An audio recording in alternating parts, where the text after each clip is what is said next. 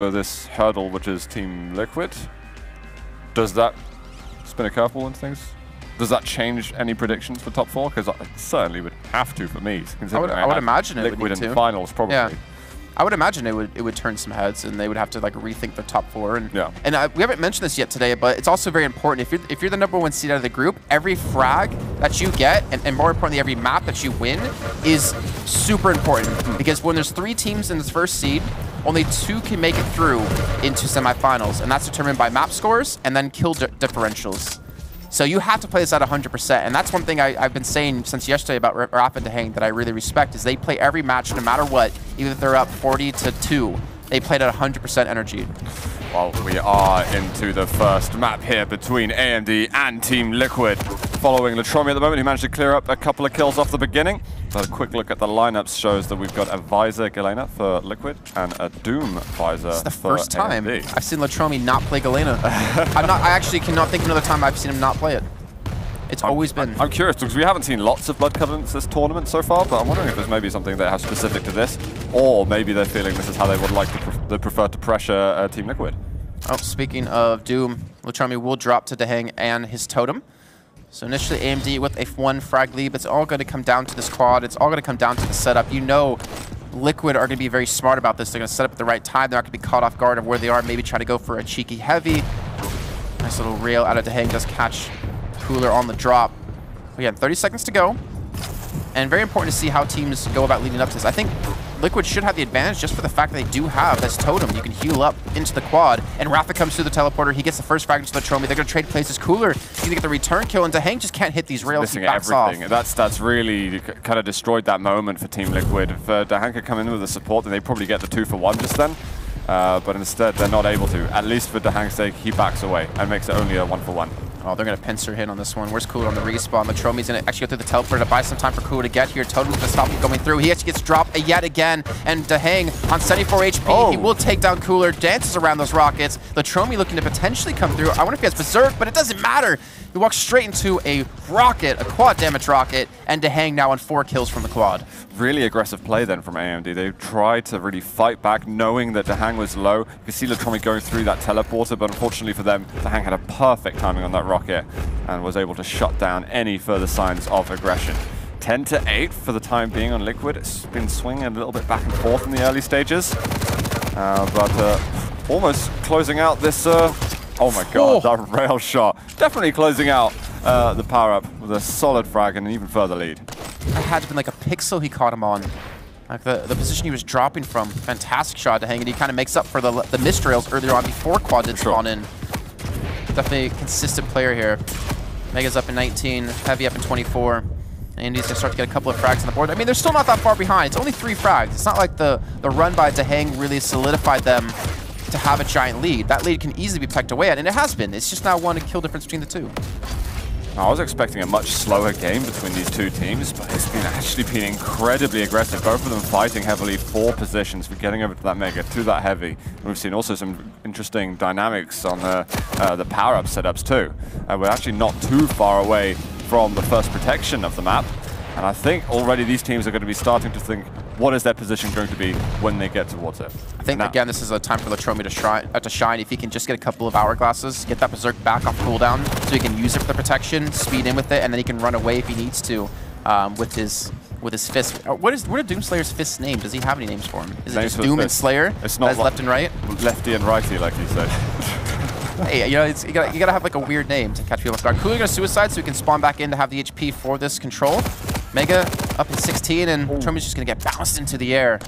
Yeah, he got no damage at all basically there, and that should be Dahang able to take that uh, protection.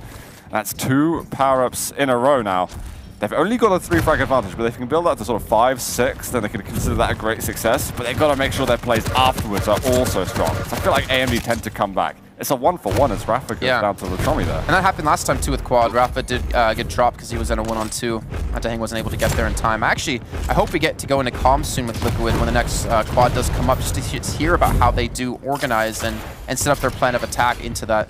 Again, I mean, Rafa, whenever you hear him stream or whenever you hear him cast or something like that, he's always, you, you just really learn about how smart of a player he is and how much he actually thinks about every situation and every variable. Well, Cooler going up the bounce pad does get some decent damage, but we can see basically from the middle of the protection to now, it's still just a three frag advantage. Not a lot to work with. Well, Getting great. a one for one. Cooler, long distance rockets, not going with the machine gun for the time being. That's your teammate. Don't rocket him. There's was not actually fire, been though. any like rail control, like like hardcore rail control, I guess we could say, um, out of both teams. They're more about just skirmishing, and they're not really about locking down a part of the map. Cooler's going to run out of rockets, won't be able to hit that shot. 45 seconds till quads up, and Liquid does have their biggest lead of the game, currently at five. You're right to point out the rail control because I think that's something that like Ice Climbers and Super Wake are a lot more focused on with their sort of rail heavy play. Uh, but it's very much been a lot more close to the item, specifically power up mega area uh, in this instance. Uh, but we have actually got uh, the ability to go on the comms to check out Liquid. It's about 20 seconds away from quad damage, so uh, let's find out what they're saying. Like a, a 170? Yep. I got it. Okay, going rocket. Okay. 14 is heavy. I'm with. Let's go. I'm spamming it. I can take. Spamming it for you. Mech is up. You go, tank. Killing. LG, LG. Shards. Nails together. Okay. Cancel, he's left. I'm on heavy. I got 44. Slick comes there by Liquid. Nice precise start to the power-up run. Securing it, you can see they're holding those uh, entrances towards the power-up. And Rafa building a really nice run. You can see that it's extended even further, almost a 10 frag advantage for them. Yeah, this is looking really good for them. I mean, they're three for three for power-ups now.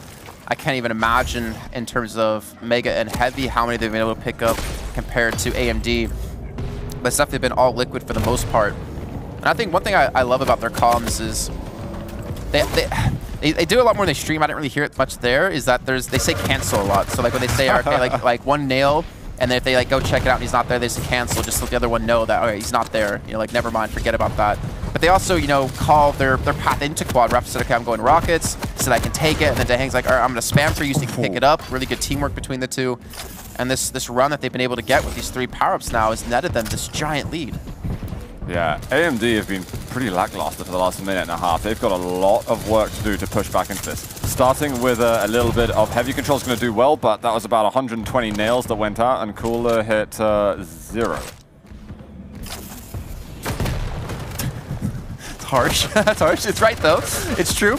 And they've actually lost control of Mega for quite a while. Heavy's been on the side of Liquid for a good amount of times. You can see a heavy investment of AMD to make sure to lock down Mega to have some sort of lifeline here to take away stack from Liquid and obviously make them stronger. We've got a we've got a special request from chat now, guys. So we're going to be able to actually go over to some of the AMD comps and just. Well, not I'm not going to understand much of it, but I know there's some people who who definitely will. Let's go over to that. Один там. Ну, ты придешь? Нет? Ну куда ты ушел? Да у меня 4 хп было. Ну постоял бы со мной вместе.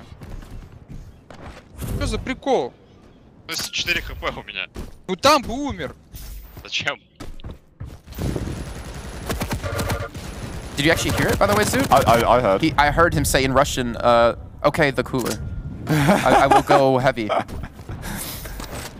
They, I okay, I don't understand Russian, but from the tone of it, it sounds like they were discussing almost something else because there was a lot of talking going on. But they were all they were both standing below bridge, so I don't know if they were trying to strategize and like take a second to say, you know, let's let's try and build something for the next situation, the next power up. But I'm just just throwing the idea out there. I I love to hear a translation. They've not had consistent control of any of these items. Again, Rafa sneaks in after Cooler took the last Mega. Uh, Heavy's just been in full control of Liquid. One HP for Rafa, gets the kill, and Dahang's just going to actually back off Heavy. So as you were saying before, you don't necessarily need to pick up an item right away. You can just back off. I mean, you can let them take it, but then come back stronger and, and finish them off for a kill. Well, a lot of uh, the uh, players for AMD fighting on the pillars area. Uh, Dahang just sat there on his own, so sadly not going to be able to do much. But as long as he doesn't give up any sort of free frags much for the remainder of the match, and they're able to get at least a one for two, uh, sorry, yeah, one for two trade, they should be able to coast towards victory on map one. I'm still not sold by the Doom on this map. I feel like Galena, as we've already seen with uh, Dahang alone, he's got two kills on Latromi by putting a, a totem right out the teleporter. It gives you so much power-up control because cause you lock down, I wouldn't necessarily lock down fully, but you prevent a team from easily walking through, especially a Berserking Doom. And if he does come through, you're going to do 100 damage. It makes him even squishier to finish him off. So I'm not really a big fan of the Doom here. I, I understand that gives you more mobility, so you can get things like like uh, Rail, but you can see again, Hang gets a kill onto Latromi just as we talk about it with the Totem. Dahang has had an absolute storm of a game. 26 for 10 right now. Look over at Latromi. I've been bigging him up a lot, but he's not really been able to have a presence on this map. Albrosen rather, he stayed on Galena, at least able to provide some of that totem support, and it's, it's not been the case. They're almost 20 kills behind with little hope now in making it back. And we talk about power up control, like for instance, Total Recall we saw yesterday, that was their main focus. Well, right now, Liquid are 5 for 5 in power-ups on Blood Covenant. Not a single time have we seen AMD be able to take it or even properly set up for it. Again, a lot of that's due just to the totem. Latromi's died three times now coming through that teleporter because Dahang is constantly keeping a totem there when the power-up is about to spawn. Oh, that was Oh. nice. Nice little drive by rail, trying to get the angle. The pillar gets in the way of him, but that's all good.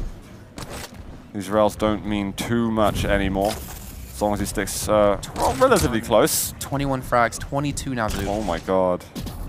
And Dahang, he's getting the one for ones. I feel like we keep playing like this. I mean, you can see why everyone considers them to easily be a top four, if not top two team in this tournament. I'm curious what the next map's going to be like. I'm not going to write out AMD straight away. Uh, I think we could see a very different map too. Uh, they certainly look good at the beginning of the first five minutes of this map, but all of a sudden, I mean, you could see the focus, or hear the focus in the comms especially. There was a certain drive there from Liquid, and they absolutely buckled down and nailed that one home. Yeah, and again, I mean, when you have every power up, every protection, every quad, you can expect something like that to happen. You know, you need to see more emphasis out of AMD on that. Especially, I think that's something that this tournament has kind of shown is emphasis on these power ups and what you can accomplish from it. Yeah, well, Dahang with 30 frags at the back end of 2018, he was definitely the best player for me after taking that DreamHack Winter victory in Duel and in Sacrifice uh, with uh, the Liquid Boys. Um, and he's continuing to have a great tournament now, dealing a lot of damage. You know, he's playing the Galena as well, and he is just getting frag after frag. So yeah, Dahang playing That's out the- of his mind. Well, that's the crazy, like, good thing about Liquid is that technically they can both play whatever they need to. Like, if Dahang's like, no, I want to do BJ this map, technically they can. Uh, especially when it came to Clutch, I remember talking to Rafa, and he's like, yeah, well, Dahang can play Clutch, or I can play Clutch. It's maybe map dependent on what they want to pair it with, but they have the ability to interchange roles. And as we were, I think, I don't know if we're talking about this in the car or here, but with Cooler, it, actually, yeah, you was talking to Latromi, and I think he said in the car that it's like, why are you playing Galena? Like, why not play Visor, who's more of like a, a champion you can use to help get you more kills? He's like, that's just because Cooler's playing him. So I was like, all right, I'll play Galena. and I wonder if like you have more of you know viability and being able to switch to different champions. I know Cooler can play Galena. I know Yeah. Latromi can play Visor.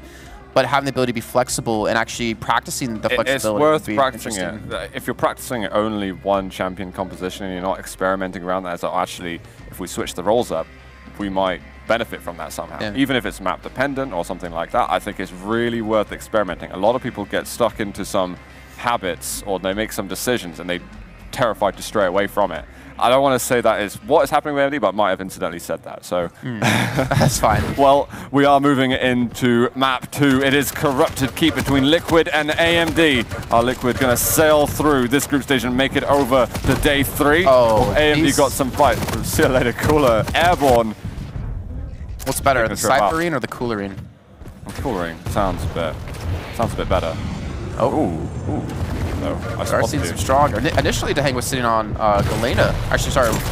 No, he was on, on. Visor. It, it would have been no, straight, okay. straight away because he my had the ability. I have bad eyes. we see we see Latromi and uh, Cooler going back over to the Visor Galena combo. It's what I think uh, I'm more comfortable watching them play. Um, but This was their choice. AMD's choice, since uh, since Liquid did have the final map choice. And Dahang again, I mean, so much HP to work with here. Latromi and Cooler able to pick on Rafa's, who's by himself. Dahang comes in for a nice frag. We've seen almost every time Cooler and Latromi love to hold this room, even Cooler and uh, Neutrino. Maybe it's more of a Cooler thing than, than more of a Cooler Latromi thing. They want to hold LG. They want to maintain that position, which also makes them very susceptible to a Peeker explosion if you come in from a very good angle. Well, what I saw on the last game between Maestro and AMD is that when they were playing Corrupted Keep, it was the people who had got the most LG control, or the most recent LG control uh, by the Mega Health, that were starting to make that make that lead or create the comeback. So it's really, if those are the telling signs, you need to have mega room control, have the lightning gun, and yeah, these guys are going to have to fight for it because the position is so valuable. And, and we're starting to see as like people play more and more and more that on your maps like Awoken, on your maps like Corrupted Keep, there's these set areas that you want to maintain control of. Awoken, the Rail Room, uh, Corrupted Keep, the LG Room, as we've been saying. There are some maps like Blood Run where you don't really lock down control of a certain part of the map. It's just more of a, a free-for-all on where you actually do fight.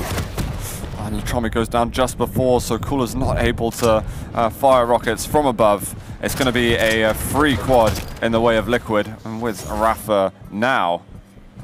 Let's see if you can chase up uh, any more information from Dahang. Nothing over at Heavy. Time to chase uh, around and head over to Mega Room. I do like how, well, I liked how AMD was playing this one, just trying to sit back, not trying to rush the quad down, just trying to wait it out, which is almost now gone. And it's limited Rafa to only one kill. Obviously two before. Um, the quad actually spawned in, but only one kill quad run. Uh, I think it's very acceptable for AMD. Yeah. Could definitely be worse. You can see Peeker making his way to one of the players then. Dahang's going to be able to finish off Cooler. That could have been the initial damage. And they're going to have to wait to find a way to shut down the Strogg. Again, Dahang Control. playing Strogg on this map. No European teams are doing that. And we do know that he is a bit of a, a trend setter. This could be uh, definitely a sort of special trick up their sleeves, bringing it to DreamHack Tour. Just look how the transition on the map. They get Mega, they go over to Heavy.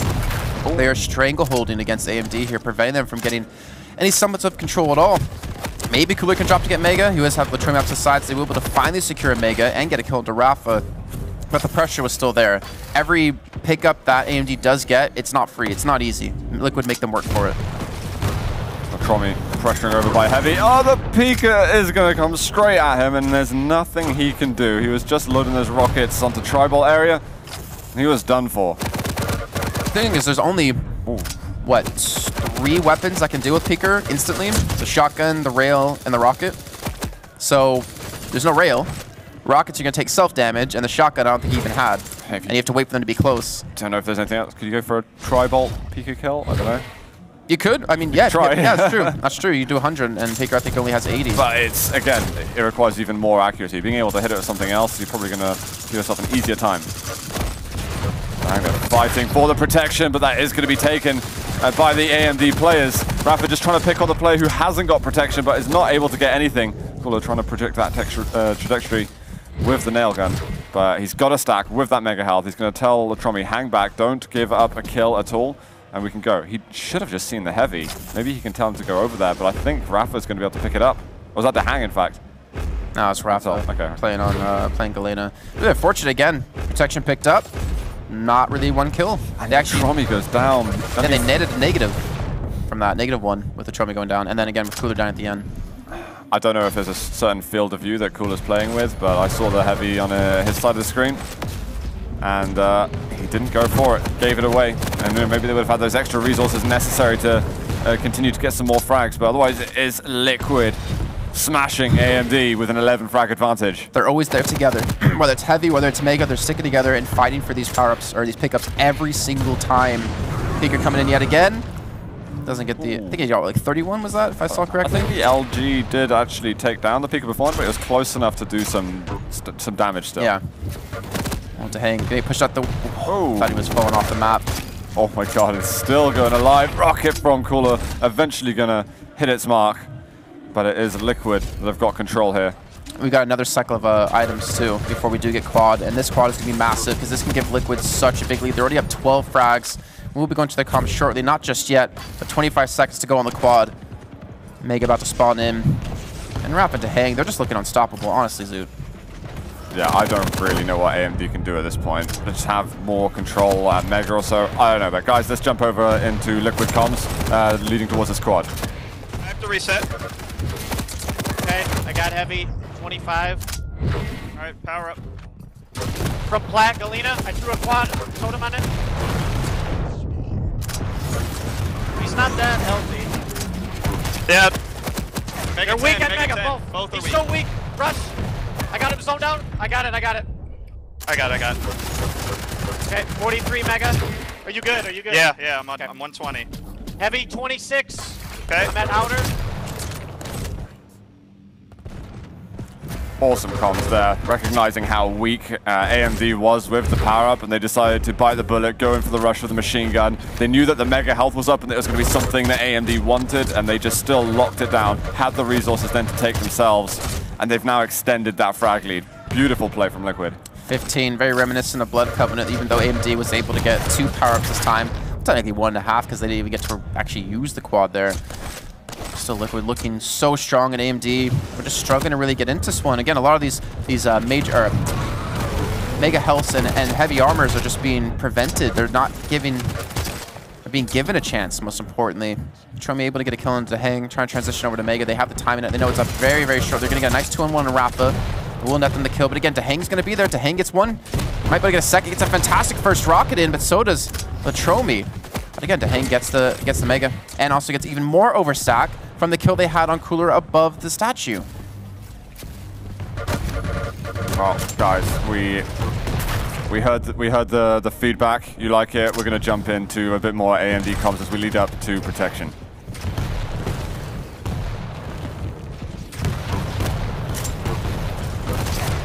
Дроп минус 100 на шахте.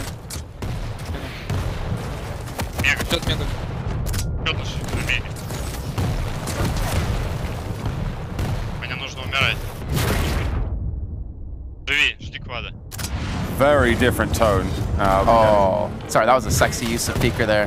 he just he sits there on the heavy stealth, uses Peeker to sit up high to do damage to anyone coming. That's going to be a pummel onto Latromi, and most certainly that's going to be almost the end of the map here and the match, Yeah. guaranteeing Liquid that first seed out of the group. You can always tell when there's a lot less noise in the comms and a lot less communication going on. They might just be kind of sitting back, you know what, accepting fate. Yeah. I mean, when you're down this much, almost 20 frags again. And the thing is, what's so important for Liquid here, um, that we have to keep you know reiterating over the course of today is your map score matters, but so does your kill frag or your kill death differential. And they have two maps in a row now, had a 20 frag lead at the end of the map. Yeah, That, almost is guarantees lot. them a, sem a semifinal berth. The- It's a, it's a huge score for them. You can tell they're playing for every single one. You know, Rafa and Dahang are trying to have a perfect game. They're going to find the last frag. That was 50 to 27, I think. You know what? I think it's fair. Yeah, Liquid I a favorite in that game, but I was not expecting it to be quite as one-sided as that. That was uh, really, really solid by the Americans. That's true. I mean, you also, I mean, you hear the comms, you hear how much they understand. Again, like into the the picking phase of the maps, like the fact that Rafa took you know half a half a minute to actually think about Blood Run or Ruins of Sarnath shows he's really thinking about what he wants to do and what they should go to. And, and I was talking to Ketchup actually in the break we had before this match, and he was saying Rafa Dahang during the entire last map uh, match of AMD and Maestro was sitting sitting there in the crowd watching, analyzing the entire play that they saw and figuring out what they could do to make those hmm. weaknesses work for, work out for them. Just got a shout out to Dahang as he dropped another 30 bomb in that game. 31 suck. frags, in fact, Yeah. they had. I mean, absolutely solid, solid stuff. I think both of